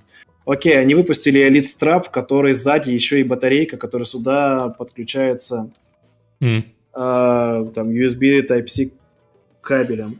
Но эти Strap ломались типа у 95%, потому что плохо сделаны, на скорую руку выпущены. И они даже бесплатно обменивали их, и у меня где-то запасной так в Америке и завис. Вот, но зато этот элитстрап решал проблему балансировки. И все равно у тебя вот этот вот headset как бы продерж... ну, держался ну, 4-5 часов максимум на полной зарядке. Ну не так много именно потребителям надо больше, чем 4 часа э, пользоваться VR. Ну Даже да. Не, не, в том, не в том, что человеку качает VR, а в том, что человеку нечего делать 4 часа в VR, у него обычно есть еще другие э, обязанности. Но там возникает дальше вопрос раздражения кожи вот по этой части, которая касается с маской, поэтому Oculus тоже, это вот у меня кастомная маска, mm-hmm. которую я поставил, а так вообще они тоже перевыпустили, вместо поролоновых сейчас все делают уже силиконовые. И на всех своих VR-фестивалях и VR-показах мы выдаем еще такие одноразовые маски Zorro, mm-hmm. которые позволяют убрать вот это раздражение, потому что оно все равно появляется под плюс это все, у вас этот красный след может у некоторых там несколько часов не сходить, к сожалению. И это все... По своему ребенку, может, конечно, несколько дней может держаться, если активно играть. Ну вот можно просто действительно закупить себе побольше этих одноразовых масок. У меня э, силиконовые заменители стоят. Ну да, да, да. Ну, вот мы из-за пандемии на самом деле приучили наконец-то людей надевать еще одноразовые просто, ну не поролоновые, а как Ну, короче, как обычные маски, только на глаза. И, к счастью, все начали их носить, потому что когда у тебя там приходит взрослый мужчина, это нормально. Там нужно силиконовую, ну, спиртовой салфеткой протереть, и все хорошо. Когда приходит эм, человек с макияжем ярким, у тебя эта половина остается на хедсете после mm-hmm. там, 30 минут. И вот это все как бы в какой-то степени и говорит про мобильность устройств, да, Конечно, если мы говорим про консюмерские устройства, то консюмерские устройства будут все больше уходить в мобильные э, платформы на базе там вот этих вот чипсетов. Сейчас это XR2, XR2, дальше будет какой-то другой процессор. А если мы говорим, что вы приходите на какую-то выставку или вы делаете какой-то проект для галереи, для музея, для какого-то location-based entertainment, то они до последнего будут использовать максимально продук... ну, проду... компьютер с максимальной продуктивностью и с максимальным качеством графики. Поэтому, что называется, вывод один – закладывайте производство проекта так, чтобы вы могли сделать подобие платформы. Я хотел заметить, что я был когда в японских аркадах э, несколько лет назад, и у них VR был уже полным ходом, как аркадный experience. Они по-прежнему использовали ноутбук в виде на рюкзаком вешать тебе на спину и, и так далее, потому что ну, люди ходят в аркады за тем, что нельзя получить дома. Правильно? Абсолютно. И дома такой experience не сделаешь. Да, если вы сходите там в центральный детский мир, там находится арена, э, арена VR, э, забыл, как называется, на минус первом этаже, у них там целый парк, э, то вот все эти free-roam э, арены с хорошей графикой, они также делаются на каких-то ноутбуках на бэкпэке, либо действительно это вот тот этап, на который все пытаются сейчас перескочить, в том числе там и Portal VR в России и все остальные, это, ну, либо разработка изначально мультиплеера чисто под квест, либо же Airlink квеста с, с его компьютером, и как-то это все так зазделить, что компьютеры отдельно, квесты отдельно, но все вроде как бы летает. Но mm-hmm. вот, как было сказано в самом начале, трекинг недостаточно, не трекинг, а latency довольно большой. Кто поопытнее в играх, вот та аудитория, которая покупает мониторы по 120 Гц, потому что им реально нужно, а не потому что это модно, они замечают э, latency. Не знаю, грустно это... На, на грустной ноте мы это все заканчиваем или нет? Нет, это очень оптимистичная нота, очень практичная нота. А, кстати, могу. Лайфхак, вы говорили про следы на лице. Я просто ремешки не затягиваю сильно. У меня никаких следов и ничего не чешется. и ничего не переваливается вперед, он да, же очень так... несбалансированный. Найти баланс, но серьезно, я ну, как бы не шутки ради говорю, мне помогает. У меня у жены, допустим, она говорит, что у нее тогда не фокусируется нормально, ну, глаза на этих, на ну, потому что да, они, да, немножко можно построить, можно построить диоптрии. Правда, во, во втором окулюсе это неудобно делается, но в первом да. можно построить диоптрии вполне нормально. Ну вот, по попробуйте так.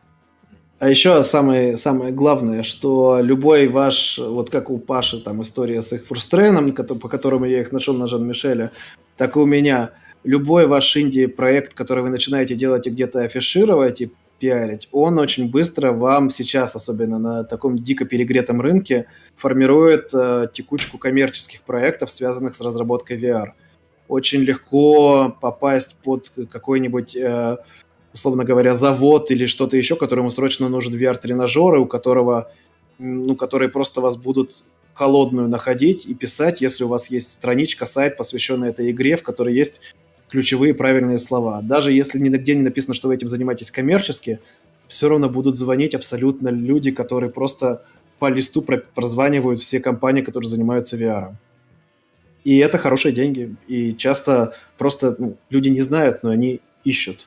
Так что не, не, от, не, не, не относитесь там к потенциальной разработке как к тому, что вы делаете ради этой разработки. Это вот как и в случае там с Пашей, они пока не дофинансировали свою игру, но это им дало проект, который там их делает более-менее узнаваемым там, на международной арене. И с, и с этого узнаваемости они смогут обратно сейчас пытаться найти деньги на игру, потому что теперь их знают. Все взаимосвязано. Э, следующий вопрос задает Игорь Демчук. Какие способы взаимодействия с окружением отлично работают в VR, а какие плохо? Паш. Это, это надо просто сейчас сидеть, вспоминать все способы, перечислять все способы взаимодействия и спрашивать, мне нормально, те как, мне. Ну, виртуальные рисовалки Э, всегда работают на отлично. То есть любая возможность создать что-нибудь, что вы можете делать своей рукой и создавать в пространстве, рисовать что-нибудь, будет работать до конца. От проведения уроков по математике в, на стенке Half-Life Alex до а, там, рисования 3D полноценных картин с помощью Brush, а, которые интегрируются внутрь уже какой-то игры. Это вот прям самая идеальная механика, потому что она одна из этих вот трех золотых гралей VR – создаваемый пользователем самим контент в виртуальной реальности. Вот. А главный вопрос, да, главный вопрос современности, как перемещаться, типа джойстиком, ножками или, или типа перелетать, нажимая на джойстик. Это главный вопрос механики передвижения в VR. Разнообразие взаимодействия, наверное, важно. Ну, просто вот на примере Оксимора, когда э, у тебя одна локация, где бар и напитки, и ты можешь по барной стойке бегать, прыгать, там к бармену залезать, хватать эти бутылки. Потом ты и ты не видишь, ну, не видишь улицы, не, не видишь города. Потом ты оказываешься в локации парка, откуда у тебя открывается, ну, большой вид на, на город, там, панорамный. И это уже, ты уже позабыла про весь этот бар и про все эти бутылки, с которыми ты только что игрался, и ты уже, как бы, ты турист, который оказался в Гранд Каньоне, например. В Гранд Каньоне, которого растут небоскребы Нью-Йорка, я бы даже вот так описал. И, ну, то есть на контрастах. Угу. Не, не одна механика, не одно взаимодействие, а попеременно. Чем больше, тем лучше, наверное. Он же спрашивает, э, оказывает ли сильное негативное влияние на погружение гличи типа клиппинга мешей и тому подобное при взаимодействии с окружением? Мы прям в чатике в нашем сегодня этот вопрос с ребятами обсуждали. И к чему пришли? Да? Ответ да. Или что? Мы, Мы пришли. Наверное, потому что ответ да. Что мешает, потому что а, объем воздействия на мозг того, что происходит в VR, очень большой, и мозг начинает перегреваться от э, того, что ему просто засвечивает, извиняюсь, глаза. Ну, ты типа, э, когда у тебя мозг не может осознать и распознать свое положение в пространстве и что происходит, это же можно сделать намеренно, но это можно сделать аккуратно. А когда это прямо глитчи, это уже больно и мозгу, и глазам как Дима написал что-то вроде, э, вот все, что бесит в играх неправильное, оно тоже и в VR бесит, только гораздо сильнее. Может так. Да. Э, следующий вопрос задает Ergo PXS. Э, как показала история, дешевый VR-experience, аттракционы, стенды, фильмы и т.д. не находят широкого отклика у пользователей. А чтобы получить уникальный для VR опыт погружения, а не просто разовый вау-эффект, требуется создание невероятно проработанного и детализированного контента, косты на разработку которого по текущему объему рынка отбить крайне сложно. Зачем делать что-то под VR, если то же самое проще и дешевле выпустить под обычные флет-скрины и потом прикрутить VR-версию, если оно потребуется? Я переведу этот долгий-долгий вопрос. В целом, почему бы не сделать просто игру, у которой есть VR-режим? Ну, как Hitman, например, делает – и ты можешь посмотреть, посчитать отзывы про VR-режим Хитмана и понять, почему, наверное, не стоит так делать. А, окей, я не читал отзывы. Ну, это просто у меня из головы последний пример, который вылез. Да. Что вы вообще про, продумаете такой стык э, обычной игры плюс VR? Ну, я с, уже говорил, что VR как направление, связанное вот с такой необычной разработкой, mm-hmm. созданием действительно качественного опыта, это субсидируемая область, которая поддерживается культурными институциями ровно для того, чтобы были примеры того, что в этом можно сделать. Это не станет никогда мейнстримом, и если не будет хороших примеров, как в проблеме курицы или яйца, того, как это сделано. Поэтому на текущем этапе очень многие вот эти косты на разработку, они должны быть субсидированными. И не забывайте, что в России тоже, опять же, появился сейчас президентский фонд культурных инициатив, у которого есть отдельное направление, в том числе и проектов, связанных с AR, VR разработкой. Да, они имеют определенную социальную и определенную патриотическую тематику, но очень многие темы очень хорошо с этим женятся. Также есть Институт развития интернета, которому тоже, в принципе, эта тема довольно-таки подходит. И это более сложное финансирование, но оно тоже субсидируемое, которое позволяет вам проработать эти механики заранее. А вот что касается того, почему это нужно делать под VR – а не под игру, наверное, Паша может рассказать, потому что если бы он создавал мир не под VR, а понимая, что это флет-игра, мир бы, наверное, выглядел абсолютно по-другому. Ну, на мой взгляд, это просто вообще совершенно разные задачи. Зачем, э, зачем делать под VR? Почему под, под VR? Ну, можно просто э, приводить э, там почему это не надо делать, да, потому что ты денег на этом не заработаешь. Почему это надо? Ну, кроме каких-то идеалистических или, или вещей, ну, о которых я могу сказать как художник, и я в первую очередь все-таки именно как мне это как, как творчество, как я уже говорил, интересно, то это просто ну, невероятные возможности и для творчества, и для восприятия и эффектов. Я, я разве что могу сравнить, как вы, как вы поедете в какой-то город новый лично, или как вы увидите на ви видеозапись с камеры о том, как кто-то в этом городе побывал. А, это, это банальный, может быть, и плохой пример, но в целом это так. Я вижу как для себя, как для разработчика, просто э, возможности для чего-то совершенно нового, интересного, потому что э, в VR все, все вот эти наработки, весь этот огромный мировой исторический опыт э, геймдева, он начинает буквально все заново, все, все работает по-другому.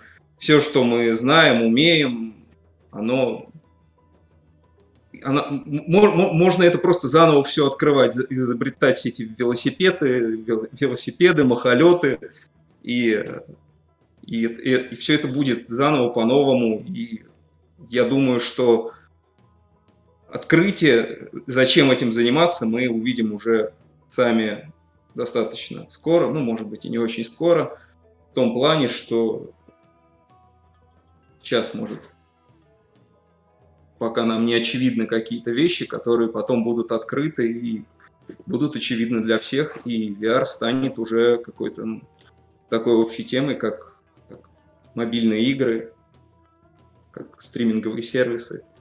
Ну да, я, я добавлю тоже от себя, что э, все-таки в VR вот этот вот стереоскопический эффект мы на практическом примере просто. Мы показываем какую-то версию мира с записью экрана с обычного монитора, которую я делаю там для Жан-Мишель Жара, он говорит, мне это, это, это не нравится. Потому-то, потому-то, потому-то. У нас есть два пути. Либо сказать Жан-Мишелю, что хорошо мы переделаем, либо, как Паша делал, говорил, и Дима особенно оставил, он, Дима каждый раз, когда приходили какие-нибудь комментарии, говорил, а он это в VR посмотрел?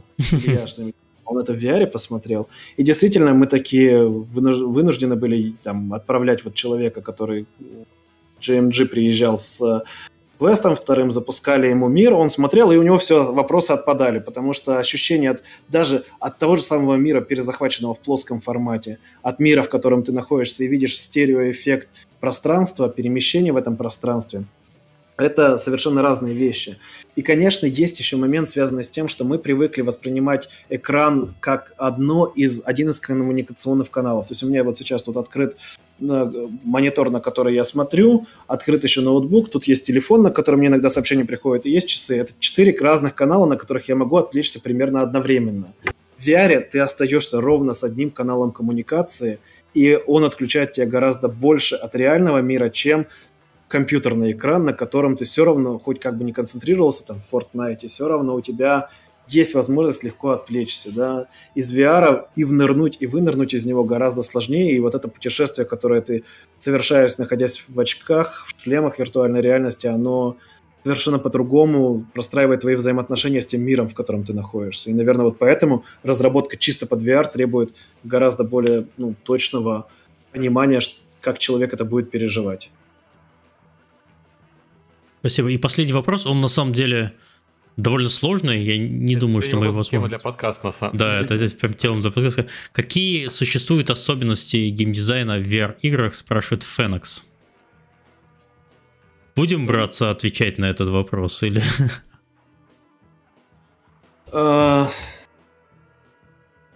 Сейчас что подумаем. Это тема для исследований даже для начала. Большая очень тема, я даже не знаю, как мы сможем на нее ответить в течение пяти минут.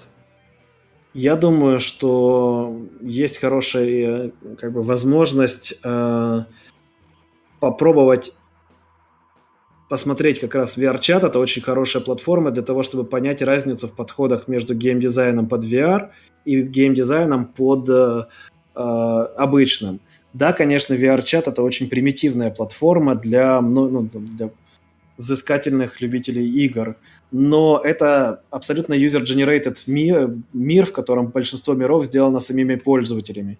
И ты, находясь в VR-чате на обычном экране, видишь этот мир э, с одной перспективы, в которой ты видишь, даже если это создано не под VR, э, а просто для просматривания, ты относишься к нему как к традиционной игре.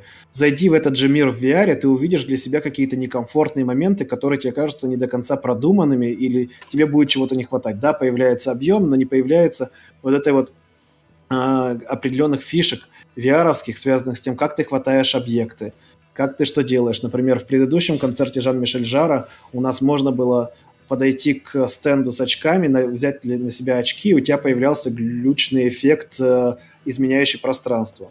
Это было сделано под VR. Когда ты в VR подходишь, надеваешь эти очки, у тебя все изображение становится таким слегка неоновым mm-hmm. поверх того слова, как постэффект. Когда ты это делаешь на экране, ты такой, ну окей, мне просто применили фильтр. Вот э, и вот VR-чат это просто такой ускоренный курс э, game, game разработки мини мини-игр, мини-миров, которые позволят понять, где люди работали чисто под PC, а где люди работали под VR. И вот так вот можно будет составить целый список для себя классных механик, которые можно подглядеть, так себе выписывать и реализовывать. Ну, для меня такой механикой, конечно, стала прежде всего механика, когда персонаж, как я и говорил, как Хенри или как многих других, он начинает смотреть на тебя. И ты все еще не являешься участником мира, но персонажи как-то с тобой взаимодействуют. Вот я в, в этом, в, когда вам записывал анонс, вот этот у меня безголовый человек, я его не видел реально. То есть я нахожусь в VR-шлеме, записываю, и тут я чувствую, что слева что-то приближается. Я совсем забыл, что это автоматизированный робот. Я, я думал, что это кто-то в мире по этому миру гуляет, поэтому такой испугался слегка его. В обычном экране этого бы не произошло, потому что ну, совершенно другие ощущения. И зато появляется классный, прикольный эффект э, того, что ты вдруг для себя открываешь новые там саспенсы моменты. Вот как-то так.